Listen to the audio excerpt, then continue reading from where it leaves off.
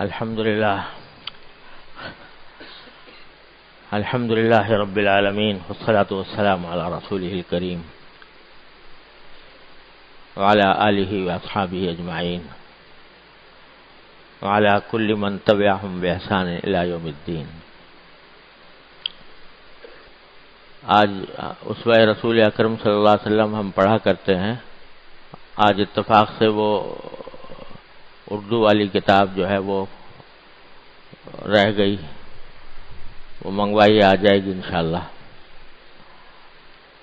लेकिन इस दौरान ये बात अर्ज़ कर देना मुनासिब है इंशाल्लाह कि ये किताब हम क्यों पढ़ रहे हैं। उसवा रसूल अक्रम सल्लल्लाहु अलैहि वसल्लम पढ़ने का असल मकसूद यह है कि किसी तरह अल्लाह तबारक व ताली हमारे दिलों में ये जज्बा यह इरादा पैदा फरमा दिया कि हमारी सारी ज़िंदगी इतबाय सुन्नत के सांचे में ढल जाए। अल्लाह तबारक व ताला तक पहुँचने के बहुत से रास्ते हैं। यहाँ तक के सूफिया कराम ने यह भी फरमाया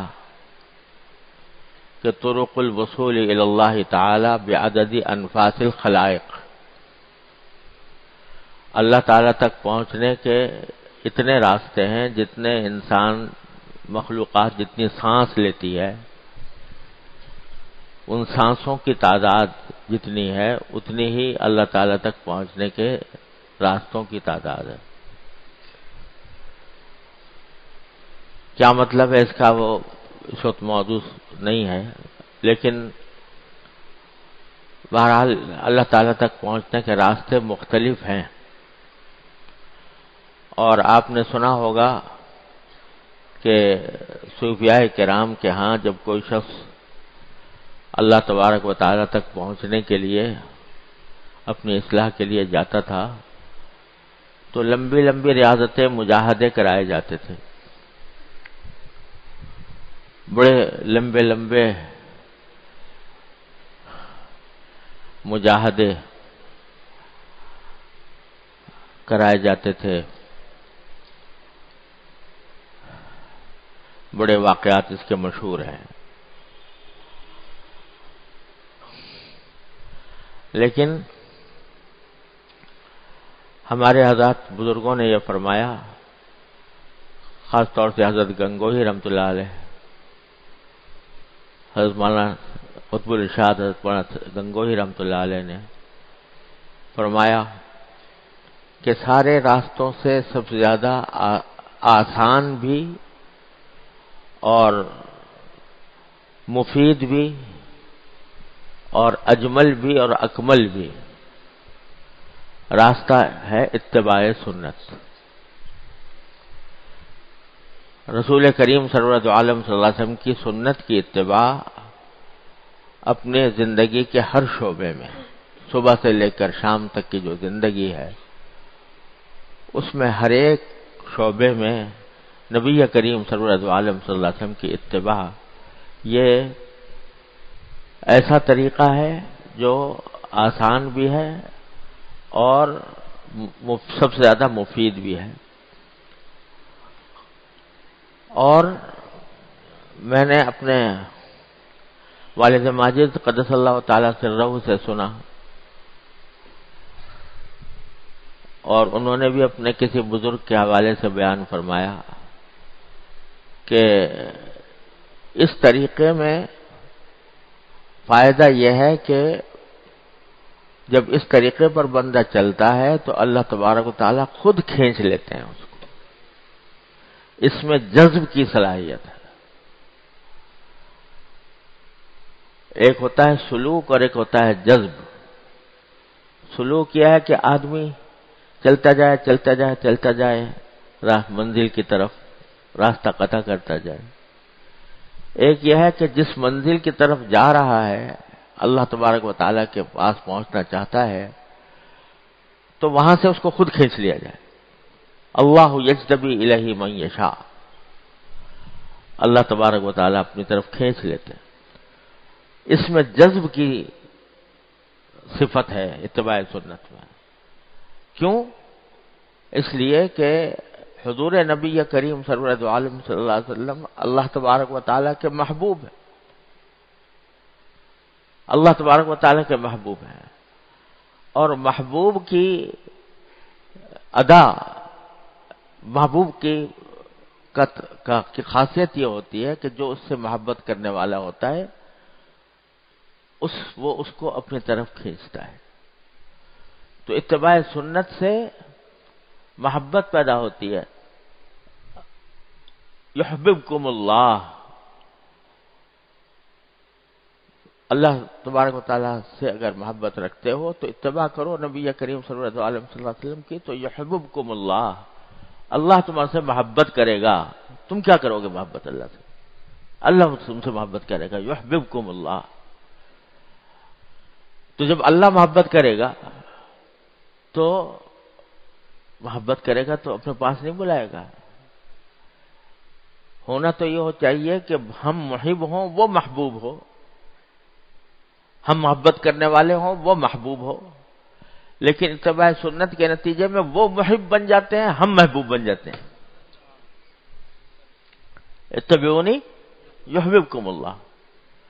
तो जब इतबा कर रहे होंगे तो उस वक्त अल्लाह तबारक व ताली मोहब्बत फरमाएँगे, तुम महबूब कर बन जाओगे। और मुहिब जो होता है, वो अपने महबूब को अपने पास खींचता है। लिहाजा इतबा सुन्नत वो रास्ता है जिसमें अल्लाह तबारक खुद अपनी तरफ़ खींच लेते हैं। और सुन्नत जिस किस्म की भी हो, छोटी हो, बड़ी हो, देखने में मामूली मालूम हो रही हो। लेकिन जब बंदा नबी करीम सरवरद आलम सल्लल्लाहु अलैहि वसल्लम की सुन्नत की इतबा के नीयत से वो अमल करता है चाहे वो कितना ही छोटा नज़र आ रहा हो तो युहबिबकुमुल्लाह का असर ज़रूर मुतहक होगा। मेरे शेख हज़रत आरिफी कदसल्ला फरमाया करते थे कि जिस वक्त तुम फ़र्ज़ करो बैतुलखला बैतुलखला में दाखिल हो रहे हो और अल्लाह इन्नी आउजुबी कमर खबूसी वल खबाइस, जो सुन्नत है, वो दुआ पढ़कर और फिर बाया पाँव पाँव अंदर पहले रख रहे हो इसलिए कि सुन्नत यह है कि बाया पाँव पहले रखा जाए। जिस वक्त ये अमल कर रहा है, उस वक्त तुम अल्लाह के महबूब हो। इस वास्ते के अल्लाह ताला ने फरमाया, यहबिबकुमुल्लाह अल्लाह ताला महबूब करेगा। मस्जिद से मस्जिद में दाखिल होते वक्त जब दाया पाँव रखकर दाखिल हो रहे हो, नबी करीम सल्लल्लाहु की सुन्नत की इतबा में और अल्लाह अल्लाह मफ्ताहली अब्बा रहमती कहकर दाखिल हो रहा है, उस वक्त तुम अल्लाह के महबूब हो। बात सारी क्या है कि तनब्बो हो जाए, गफलत से तनब्बो की तरफ़ आ जाए और जो अमल करें वो नबी करीम सरवरत आलम वसल्लम की सुन्नत के ऊपर अमल करने इतबा की नीयत से करें। तो फिर महबूब हो तुम अल्लाह के। तो इसलिए इतबा सुन्नत सबसे ज़्यादा करीब तरीन सहल तरीन, मुफीद तरीन रास्ता है अल्लाह तबारक तार तक पहुँचने का। हज़रत मुजद्दिद साहब रहमत हज़रत मुजद्दिद अल्फसानी रहमत फरमाते हैं, मैंने अपने शेख से बार बार सुना रहम वो फरमाते हैं कि मैंने अल्हम्दुलिल्लाह जितने उलूम ज़ाहिर थे, उन सब की तकमील की। हदीस फ़िका तफसीर हदीस, फ़िका, अकायद, कलाम, जो कुछ भी अला उलूम ज़ाहिर थे सब पढ़े, अल्लाह ने उसमें मुझे कमाल तक पहुँचाया। फिर मैंने उलूम बातिन की, सैर की, और जितने तसव्वुफ के सिलसिले थे, उन सबको देखा और बरता, उनसे गुजरा। यहाँ तक के ऐसी जब मकाम पर पहुँचा के लोग उसके सामने कहूँ, कोई कहेगा कि ये ज़िंदगी हो गया, कोई कहेगा कि ये मुलहिद हो गया। लेकिन वाकई यह है कि मुझे, मैं उस मकामात तक पहुँचा। यहाँ तक के एक मरहले पर मुझे ये फरमाया उन्होंने क्योंकि खुद मुझे नबी करीम सरवर आलम सल्लल्लाहु अलैहि वसल्लम ने खिलात पहनाया।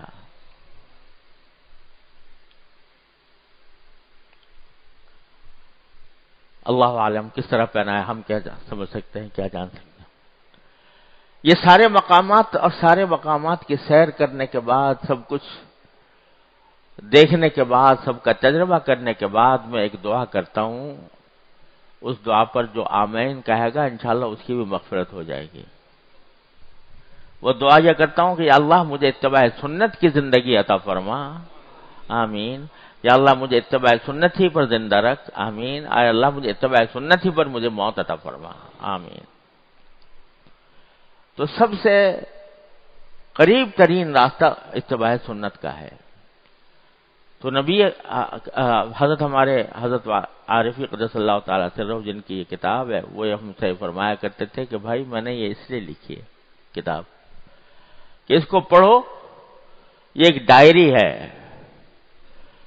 कि जिसके ज़रिए ये देखो कि इसमें क्या लिखा है, क्या क्या तरीका रसूल करीम अलैहि वसल्लम का बयान हुआ है और फिर अपना जायजा लेते रहो। मैं कैसा कर रहा हूँ? जहाँ फ़र्क मालूम हो तो इस नीयत से कि मैं नबी करीम अलैहि वसल्लम की सुन्नत की इतबा करूँ, इस नीयत से पढ़कर उसको अपनी ज़िंदगी में अपनाओ हम पढ़ते तो हैं। अहादीस भी पढ़ते हैं, नबी करीम सल्लल्लाहु अलैहि वसल्लम के इर्शादात भी पढ़ते हैं, अहादीस कौलिया भी, फैलिया भी, सभी पढ़ते हैं। लेकिन अगर पढ़ने का मकसद सिर्फ़ मालूम हासिल करना हो, कि भाई ये मालूम, ये बात मालूम हो गई, और मालूम होने के साथ ये हो कि भाई किसी मौके पर हम दूसरों को भी बताएँगे, सिखाएँगे, सुनाएँगे। तो ये अल्लाह बचाए, इससे कोई फ़ायदा नहीं, बल्कि बाद अवकात हुब जा हुब माल हुब शहरत, इन चीज़ों की इन चीज़ों की, इन बीमारियों में इंसान मुबतला हो जाता है। अल्लाह। बल्कि पढ़े इस नियत से कि मैं, ये मेरे लिए है। ये जो कुछ मैं पढ़ रहा हूँ, ये मेरे लिए है। मेरे अमल के लिए है। मुझे इस जैसा बनने की कोशिश करनी है। मुझे इस जैसा बनने का इरादा करना है। जब यह नियत होती है तो फिर अल्हम्दुलिल्लाह इल्म के अंदर भी बरकत आती है। जो मालूमात हासिल होती हैं, वो मालूमात ही नहीं रहती, वो फिर इंसान के, का अमल बन जाती है। अमल बन जाती हैं तो वो इतबा सुन्नत में ज़िंदगी ढलती चली जाती है। अल्लाह ताला अपने फजल करम से हम सबको ये जज्बाता फरमाए। जो पढ़ें, वो इसलिए पढ़ें कि ये हमारे लिए है। हम जैसे, मैं अपनी बात करता हूँ कि जब हम पढ़ते पढ़ते थे, कब तो बाद जहन में ये आता था कि भाई ये बड़ी अच्छी बात मालूम हो गई। और किसी वाज में इसको सुनाएँगे लोगों को। किसी तकरीर में लोगों को बताएँगे। तो जब यह नियत हो गई कि दूसरों को बताएँगे, यानी गोया माजल्ला हमें ज़रूरत इतनी नहीं है, दूसरों को बताना है। तो ये अल्लाह बचाए, ये रास्ता गलत, लाइन गलत पकड़ ली। मैं तो एक बुज़ुर्ग का कौल नज़र से गुजरा तो अल्हम्दुलिल्लाह तनब्बो हुआ। मैं लड़कपन की बात कर रहा हूँ, अपने लड़कपन की। उस वक्त ये होता था, ख्याल कि अच्छी बात नज़र आ गई, बहुत अच्छी बात सुन ली। जुमा को जब तकरीर करेंगे तो उसमें ये सुनाएँगे तो लोग उससे महजूज होंगे। ये ख्यालात आया करते थे। तो एक बुज़ुर्ग का मकबूला नज़र से गुजरा। अब मुझे उन बुज़ुर्ग का नाम भी याद नहीं रहा। फरमाया कि इदा अहदसल्लाका इल्मन फ़ाहदिस इबादतन। वला यकुन हम का अन वला यकुन हम का अन तस्कुराहू जब अल्लाह तुम्हें कोई नया इल्म दे तो फिर उसका शुक्र यह है कि एक नई इबादत करो, जो पहले नहीं की। नई इबादत कर। नया इल्म दिया अल्लाह ने तो नया, नई इबादत करो। नई इबादत यह भी हो सकती है कि जो जिस चीज़ का इल्म हासिल हुआ, उस पर अमल कर लिया। नई चीज़, नई इबादत यह भी हो सकती है कि जो इल्म हासिल हुआ, उसके ऊपर अल्लाह ताला का शुक्र अदा किया। या अल्लाह आपने अपने फजल करम से यह इल्म अता फरमा दिया। तो जब कोई नया इल्म हासिल हो, करो तो अल्लाह के लिए एक नई इबादत करो और हरगिज तुम्हारे दिमाग में यह ख्याल ना आए कि मैं लोगों को बताऊँगा। ये ये ये बीमारी की रग पकड़ ली उन्होंने बुज़ुर्गों ने। हम जैसे मौलवियों की बीमारी की रग पकड़ ली कि ये बीमारी पैदा हो जाती है कि इल्म इसलिए हासिल कर रहे हैं ताकि लोगों को सिखाएँगे लोगों को बताएँगे। अरे भाई पहला काम तो तुम खुद अपने अप, अपनी फ़िक्र तो करो कि तुम्हें इस पर अमल करना है तुम्हें तुम्हारे लिए है। ये सुन्नत नबी करीम सल्लल्लाहु की तुम्हारे लिए है। पहला काम तो तुम्हारा है। अब दूसरों की तो तुम झोलियाँ भरते रहो और अपनी झोली खाली हो, अपनी गुदड़ी में कुछ भी ना हो तो क्या फ़ायदा उसका?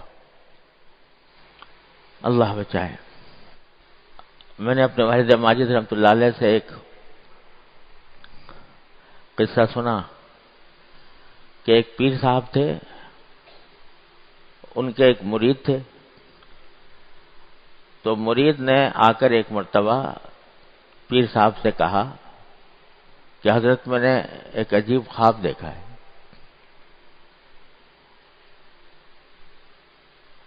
उन्होंने कहा, भाई, क्या ख्वाब देखा है? कहा कि, मैंने आपको देखा है कि आपके हाथ पर शहद लगा हुआ है और मेरे हाथ के ऊपर गंदगी लगी हुई है। तो उन्होंने कहा, तूने ठीक देखा? हमारे हाथ पर शहद देखा अपने हाथ पर गंदगी देखी तो ठीक देखा तू दुनिया का कुत्ता मैं अल्लाह वाला तो इस वास्ते मेरे हाथ पर शहद है तेरे हाथ पे गंदगी उन्होंने कहा जरा सुन ले और आगे भी सुन ले। आगे क्या है? कहा कि ख्वाब में ये देखा कि मैं आप मुझे शहद चटा रहे हैं और मैं गन, आपको वो गंदगी चटा रहा हूँ। अलायाजुबिल्लासीम तो अगर कोई आदमी दूसरों को इसलिए बता रहा है कि ताकि उसकी शोहरत हो, उसकी इज़्ज़त हो, उसको लोग बड़ा समझें तो दूसरों को शहद को चटा रहा है, लेकिन दूसरों की गंदगी अपने मुँह में ले रहा है। तो इसलिए हम इसलिए पढ़ते हैं ये ताकि इसको इस नीयत से पढ़ें कि यह हमारे लिए है। हम इसके ऊपर किसी तरह किस अमल करने वाले बन जाएँ। तो उसी में यह ज़िक्र चल रहा था नबी करीम सरवरद आलम सल्लल्लाहु वसल्लम के तहमुल का, हिल्म का, कि ऐसे मौके पर जबकि दूसरे लोग गुस्से में आ जाते हैं और गुस्से में आकर आप इसे बाहर हो जाते हैं। ऐसे मौके पर नबी करीम सरवरद आलम सल्लल्लाहु ने जिस तहमुल का दर्श दिया, अपने कौल से भी, अपने फेल से भी। और ये दुआ भी फरमाई कि अल्लाह जयिन अल्लाह आइनी बिल इल्म व जयिनी बिल हिल्म। अल्लाह, मुझे मुझे इल्म अता फरमाइए मुझे आइनी बाद रिवायतों में आता है बाद में अग्निनी अल्लाह अग्निनी बिल इल्म, कि मुझे इल्म के अंदर गनी कर दीजिए। इल्म में गनी कर दीजिए। वजयनी बिलहिल्म और हिल्म से मुझे जीनत अता फरमाई यानी इल्म की जीनत क्या है? हिल्म तहमुल बुरदबारी, के गुस्से के मौाक़े पर भी इंसान अपने आप को काबू में रखे। उस ये सिफत नबी करीम आलम वसल्लम की ये सुन्नत, अजीम सुन्नत है। उस सुन्नत का एक वाक़ है जो यहाँ पर मजकूर हज़रत ने फरमाया। मैं पहले भी कई वाकयात पढ़ चुके हैं। वाक़ ये है कि फरमाया कि जैद इबन साना का वाक़ है। ये एक यहूदी आलिम थे। यहूदियों के बड़े ज़बरदस्त आलिम थे अपने ज़माने में। मशहूर आलिम थे। वो खुद अपना वाक्य बयान करते हैं। बाद में अल्लाह ताला ने मुसलमान होने की तोफ़ी अता फरमाई और अल्लाह ताला ने नबी करीम सल्लल्लाहु अलैहि वसल्लम की सोहबत में रहने की भी तोफ़ी अता फरमाई। गजबात में शिरकत भी हुई। यहाँ तक के गजब तबूक में शहीद हुए।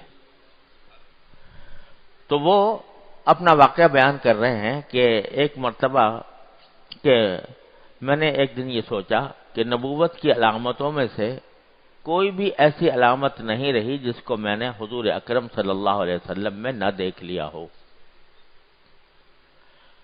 आपकी अलामतें पिछली किताबों के अंदर बयान हुई थी, तौरात में, इंजील में, कुरान में, कुरान करीम में भी उसका ज़िक्र है। तो जो अलामतें नबी आखिर जमा सल्लल्लाहु अलैहि वसल्लम की बयान की गई थी तौरात इंजील में, वो वो एक एक करके मैं देखता रहा कि हुजूर में पाई जाती हैं कि नहीं पाई जाती। तो जितनी अलामतें थी, वो मैंने हुजूर में देखी। सिवाय दो अलामतों के, जिसके, जिनके तजर्बे की अभी तक नौबत नहीं आई थी। एक ये एक अलामत यह थी कि आपका हिल्म आपके गुस्से पर गालिब होगा। आपका हिल्म आपके गुस्से पर गालिब होगा। ये अलामत बयान हुई थी नबी करीम सल्लल्लाहु अलैहि वसल्लम की। दूसरे ये कि आपके साथ कोई जितना भी जहालत का बर्ताव करेगा, उसी कदर आपका तहमुल ज़्यादा होगा। कोई दूसरा जितना भी ज़्यादा जहालत का मामला करे आपके तहमुल और उससे भी ज़्यादा होगा। तो मैं इन दोनों अलामतों के इम्तिहान के मौाक़े तलाश करता रहा। कि, कि देखूँ ये अलामतें पाई जाती हैं नबी करीम सल्लल्लाहु वसल्लम में या नहीं। और इसके लिए मैं आमोदरफ्त बढ़ाता रहा। यानी जाके मिल लिया कभी किसी वक्त देख लिया जाकर। तो एक दिन ऐसा हुआ कि आप हुजरे से बाहर तशरीफ़ लाए। आपके साथ हज़रत अली रज़ी अल्लाह तलानु भी थे। एक देहाती जैसा शख्स आया और उसने अर्ज़ किया कि, या रसूल अल्लाह मेरी कौम मुसलमान हो चुकी है। और मैंने उनसे यह कहा था कि मुसलमान हो जाओगे तो अल्लाह ताला तुम्हें भरपूर रिज्क देगा। अब ये उन्होंने अपने ख्याल में लोगों को इस्लाम की तरगीब देने के लिए खुद देहाती आदमी थे और अपने देहाती लोगों से तरगीब देने के लिए कह दिया था कि अगर इस्लाम लाओगे तो बहुत रिज्क मिलेगा। ये आम नबी करीम सल्लल्लाहु अलैहि की ताबलीग और दावत का तरीका ये नहीं था। यानी कि आप लोगों को ये कहें कि इस्लाम लाओ तो तुम्हें दुनियावी मुनाफे बहुत हासिल होंगे। आप तो ये फरमा से कुलू ला इलाहा तुफलिहु। ला क्या तो फलाह पा जाओगे। और फलाह में असल फलाह तो आखिरत की है, फिर अंजाम कार दुनिया के अंदर भी फलाह मिल जाती है। लेकिन इस तरह कहने का मामूल नहीं था कि अभी तुम इस्लाम लाओ तो तुम्हें दुनियावी मुनाफे हासिल होंगे, लेकिन बहरहाल उन्होंने कह दिया। अब हालात यह है, उन्होंने बताया देहाती साहब ने कि कहत पड़ गया है वहाँ। और लोग लोग भूख का शिकार हैं और मुझे डर है कि इस्लाम से ना निकल जाए। तो अगर आपकी राय हो तो उनकी कुछ मदद फरमा दें मेरे देहात में रहने वालों की जो नए नए इस्लाम लाए हैं। उस वक्त हज़रत अली रज़ी अल्लाह तु आपके साथ थे तो आपने हज़रत अली की तरफ़ देखा। यानी इस ख्याल से कि कोई अगर चीज़ हो तो उनको भेज दी जाए। गालिबन हज़रत अली की तरफ़ इसलिए देखा होगा कि सदाकत वगैरह जब आते थे तो हज़रत अली रज़ी अल्लाह के ज़रिए बाज़ात तकसीम फरमाया करते थे आप। तो उनसे इस तरफ़ देखा होगा कि शायद कुछ बाकी हो सदाकत में से तो उनके पास भेज दिया जाए। तो हज़रत अली ने अर्ज़ किया कि रसोल्ला अब कुछ नहीं रहा। जो कुछ थे, सब तकसीम हो चुका, अब कुछ बाकी नहीं है। जिस वक्त वो जैद इब्न साना, ये यहूदी, ये उस वहाँ मौजूद थे। उन्होंने ये मंजर देखा तो कहने लगे, या मोहम्मद सल्लल्लाहु अलैहि वसल्लम, अगर आप ऐसा करें कि फला शख्स के बाग की इतनी खजूरें वक्त मुन पर मुझे दे दें तो मैं कीमत पेशगी दे दूँगा और वक्त मुन पर खजूरें ले लूँगा। एक तरीका होता था पहले उस वक्त में खास तौर पर काश्तकारों में यह तरीका होता था कि काश्तकार जब कोई बीज वगैरह डालते का वक्त आता था तो उनके पास पैसे नहीं होते थे। तो वो अपनी, वो चाहते थे कि पेशगी फरोख्तगी कर दें, पैसे हमें अभी मिल जाएँ, और जब हमारे पास हमारा खेती तैयार हो या बाग तैयार हो तो हम उस वक्त उसकी अदायगी कर दें। इसको बैसलम कहते हैं। तो उसने पेशकश की यहूदी ने कि आप ऐसा करें कि मैं पेशगी भी पैसे दे देता हूँ और फला शख्स के बाग की खजूरें आप मुझे इतनी मुद्दत के बाद उसके बदले में दे दीजिएगा। अब ये देखो कि एक ऐसा वक्त वक्त आया है कि जिसमें नबी करीम सल्लल्लाहु अलैहि वसल्लम चाहते हैं कि उन लोगों की मदद करें और फौरी तौर से कुछ पैसे मिल जाएँ ताकि उनको भेजे जा सकें। लेकिन उसने शर्त यह लगाई कि फला बाग, फला शख्स के बाग की खजूरें, फला इतने वक्त मुन पर मुझे आप दे दें। तो आपने फरमाया, ये तो नहीं हो सकता, क्योंकि शरीयत का हुक्म नहीं था।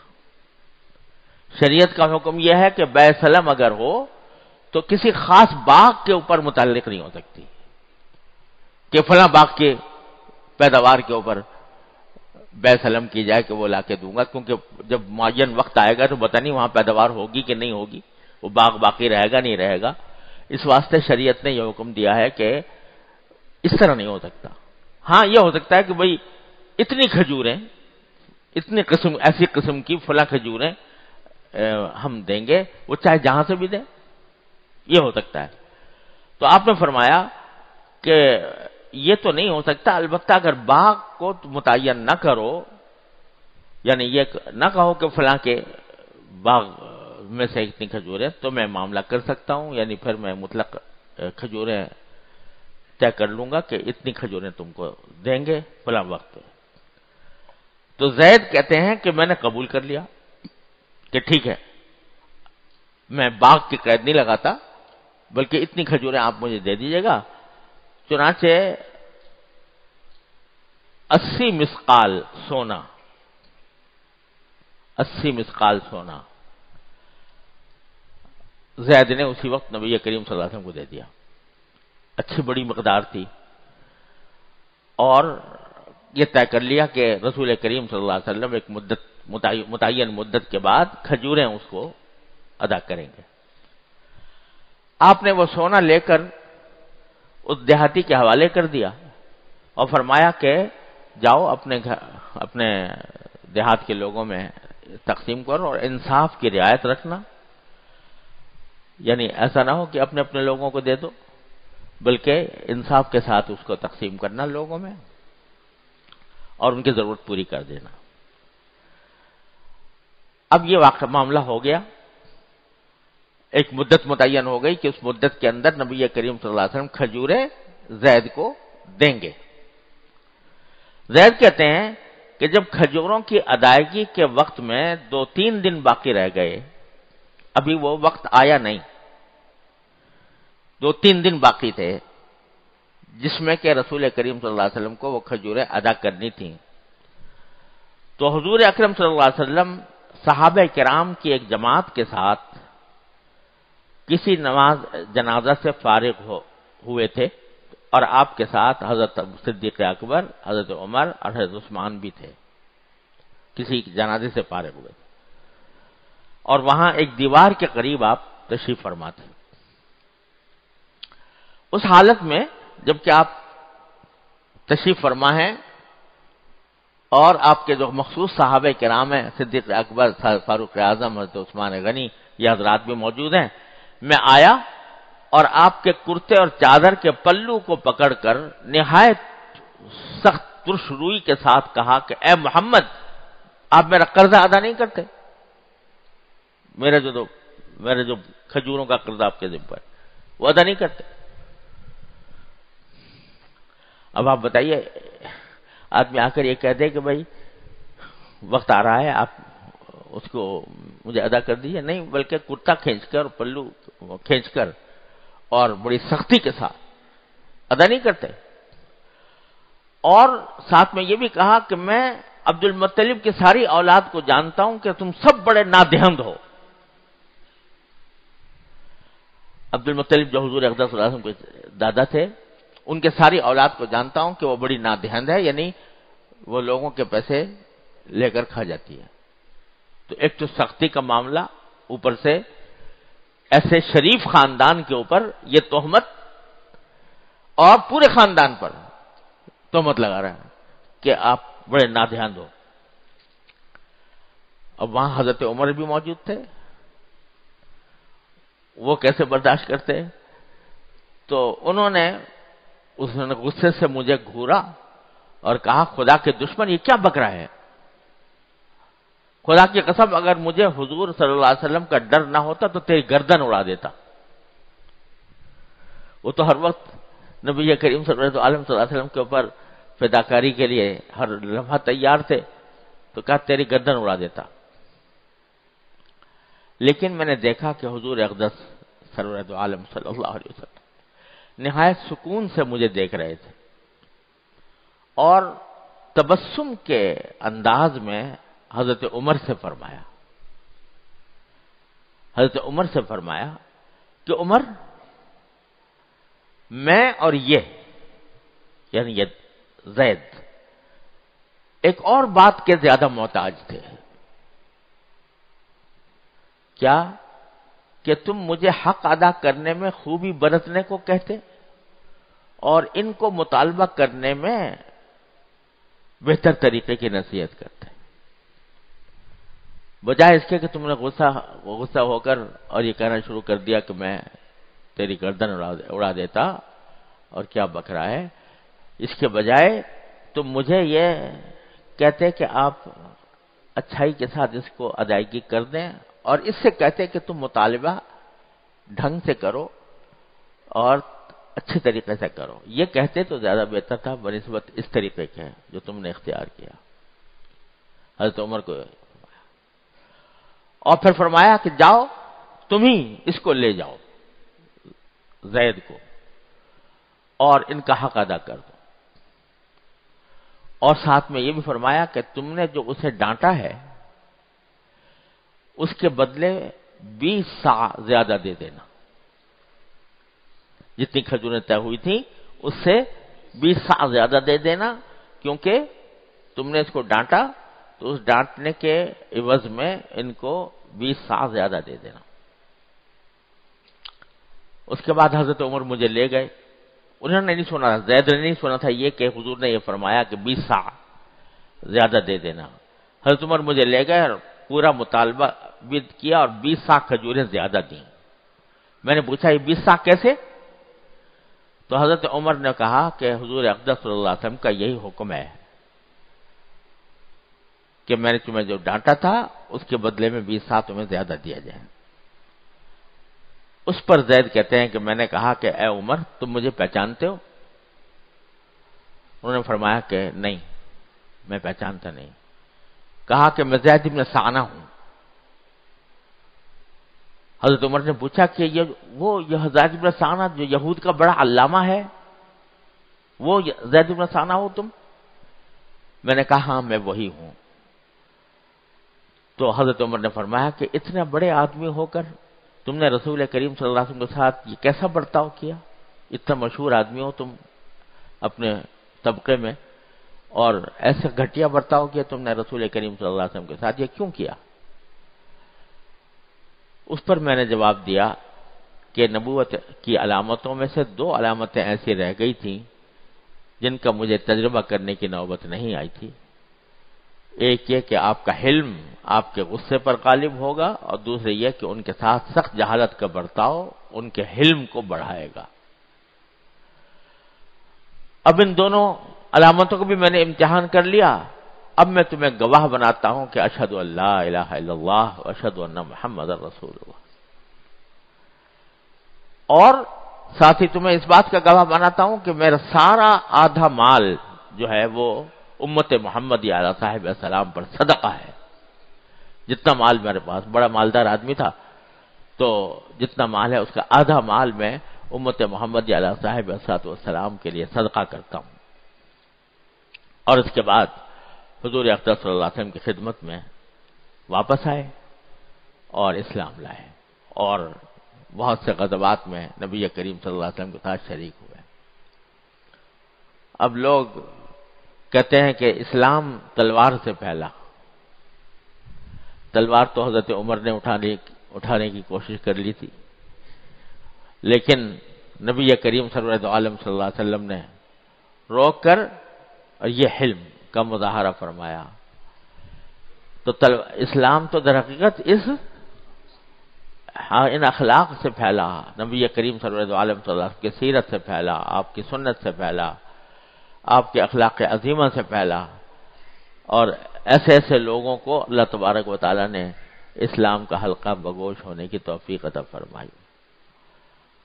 तो भाई, ये वाक़ पढ़ लिया हमने। अल्लाह ताला अपने फजल करम से हमें भी हिल्म की तोफ़ी अता फरमाए।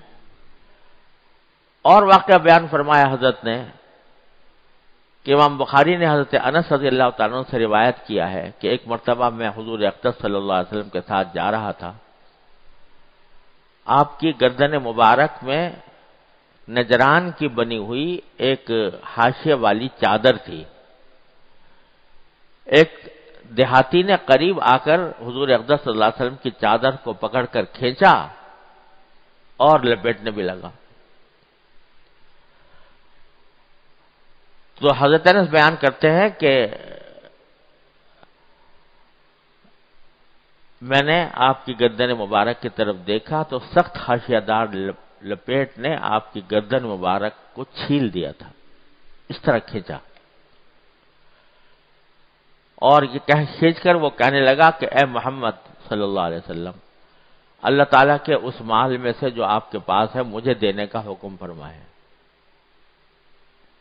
रसूल करीम सल्लल्लाहु अलैहि वसल्लम ने उसकी तरफ़ देखकर तबस्सुम फरमाया, कोई उसके ऊपर देहातियों के साथ खसूसी रियायत फरमाते हैं। तो का तरबियत के लिए साहब कराम पर आपने गुस्सा भी किया तरबियत के लिए, साहब कराम की। लेकिन आम लोगों के साथ जो जेर तरबियत नहीं है, उनके साथ मामला हमेशा नरमी का। अब ये देहाती है तो इनके साथ मामला ये नरमी का फरमाया, तबस्सुम फरमाया और मुझे हुक्म दिया कि इनको उस माले, बैतुल माल से कुछ दे दो। मक्का मुकर्रमा में कहत पड़ा, लोगों ने हड्डियाँ और मुर्दार भी खाने शुरू किए। अबू सुफियान, जो उन दिनों हजूर अकदस के बदतरीन दुश्मन थे, आपकी खिदमत में आए और कहने लगे कि मोहम्मद सल्लल्लाहु अलैहि वसल्लम, तुम लोगों को सिला रहमी की तालीम देते हो, तुम्हारी कौम हलाक हो रही है, अपने खुदा से दुआ क्यों नहीं करते? कुफर की हालत में, बदतरीन दुश्मनी की हालत में।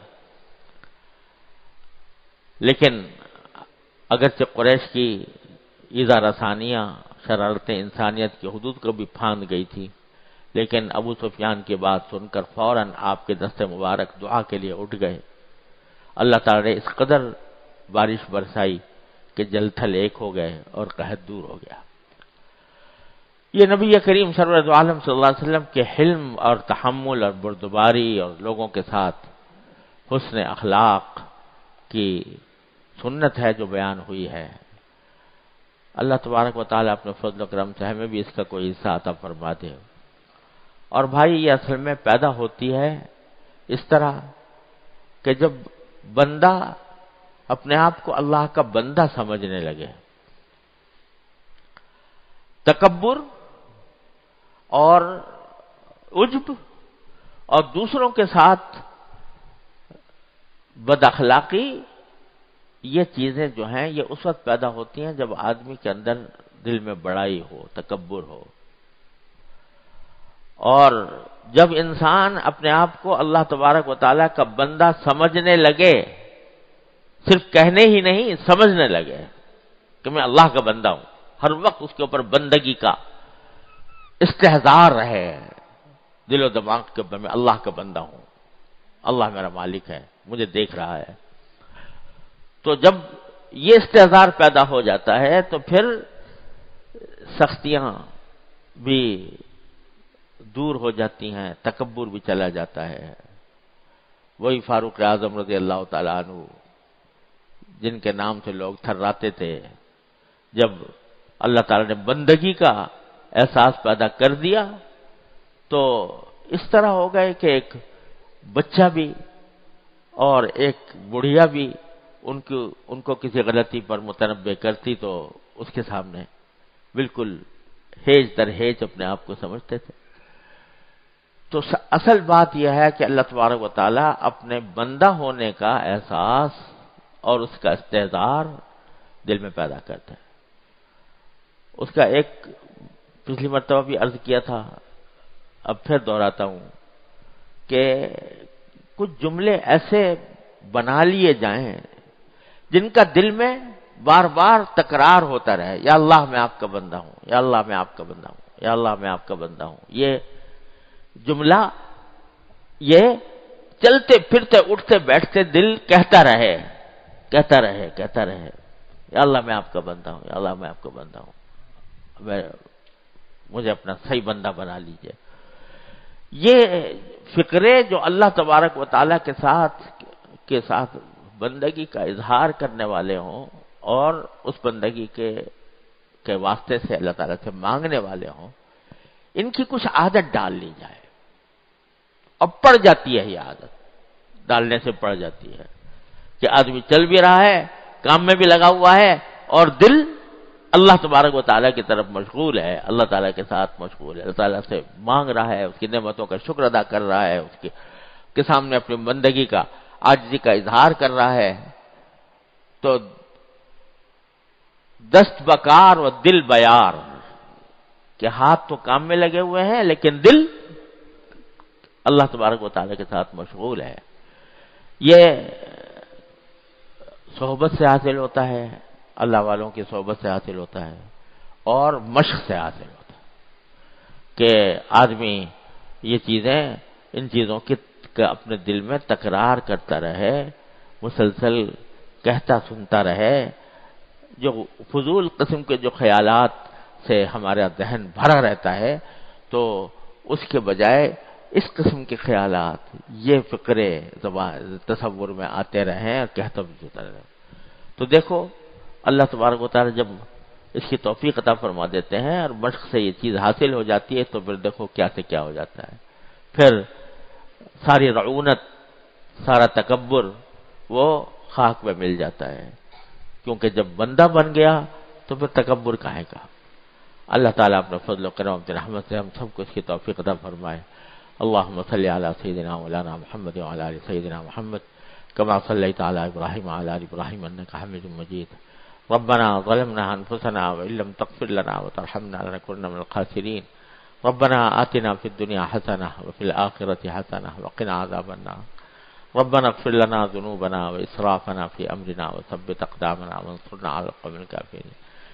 या अल्लाह या रहमान या रहीम या करीम अपने फजल को रहमत से हमारे तमाम गुनाहों को माफ़ फरमा या अल्लाह हमारे ज़ाहिर बातिन की असलाह फरमा या अल्लाह या रहमान या रहीम या करीम अपने फजल करम से रहमत से हमारे अमाल अखलाक की असलाह फरमा दे या अल्लाह हमें अपने दीन की सही समझ अदा फरमा उस पर अमल की तोफ़ी अदा फरमा उस पर इस्तकामत अदा फरमा या अल्लाह नबी करीम सरवर तो आलम सल्लल्लाहु अलैहि वसल्लम की सुन्नत पर ही हमारी सारी ज़िंदगी सुन्नत पर के सांचे में ढाल दीजिए या अल्लाह इतबा सुन्नत के सांचे में हम सबको ढाल दीजिए।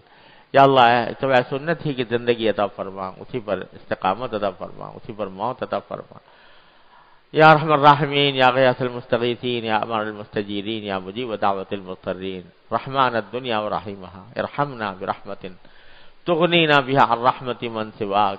या अल्लाह, तमाम हाजरीन को और हाजरात को, उनके तमाम जायज़ मकासद में कामयाबी अता फरमा। या अल्लाह, सबकी परेशानियों को दूर फरमा।